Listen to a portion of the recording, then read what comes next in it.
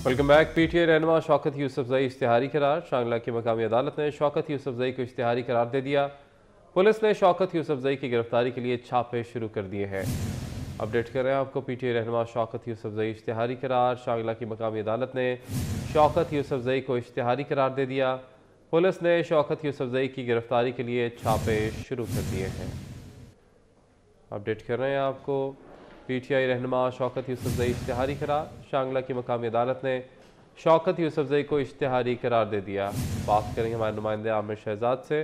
जी आमिर बताएगा जी, शुक्रिया। तहरीक इंसाफ के रहनुमा शौकत यूसुफजई के खिलाफ इक्कीस नवंबर को एक मुकदमा थाना शांगला में दर्ज किया गया था जिसमें मजीद दफात शामिल की गई और अदालत के हुक्म पर शौकत यूसुफजई को जो है वो इश्तहारी करार दे दिया गया और शौकत यूसुफजई की गिरफ्तारी के लिए शांगला पुलिस जो है इस वक्त मुख्तलिफ़ इलाकों में छापे मार रही है। गुजशत रोज इंट्रा पार्टी इलेक्शन के मौके पर भी शांगला पुलिस पिशावर पहुँची थी। तमाम शौकत यूसुफजई वहाँ पर मौजूद न थे।